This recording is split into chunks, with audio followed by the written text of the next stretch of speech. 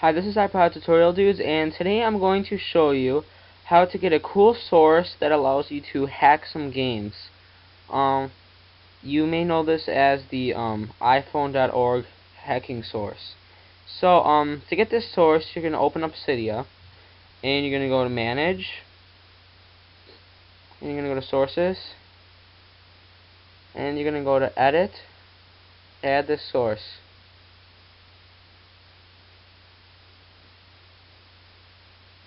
Cydia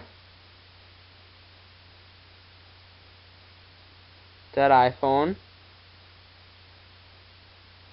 dot org dot hk slash apt you can see right here. Add the source. And then it's going to add this source right here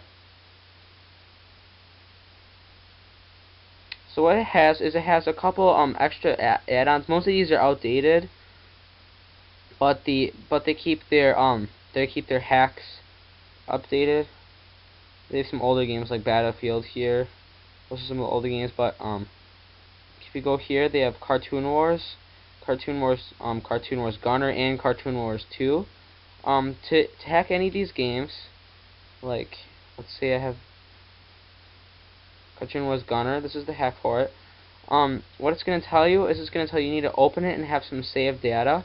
You can also hack um, Need for Speed Undercover.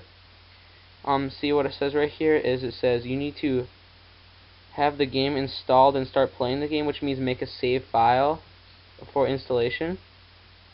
Because otherwise it can't hack it unless you have a unless you save the game.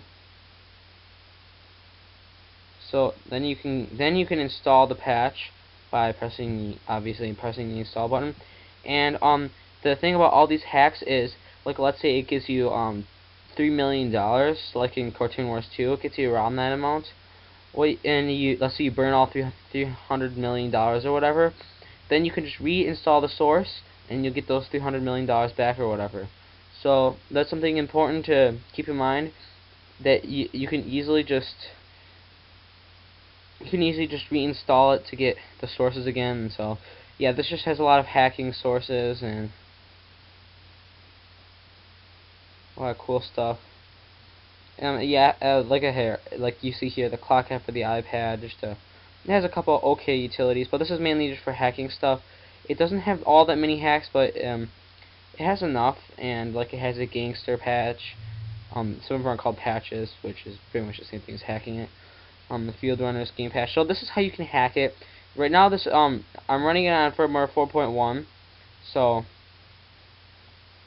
just so you can, just so you know, and yeah, it has a whole bunch of nice stuff on here, and so that's how you can hack some games.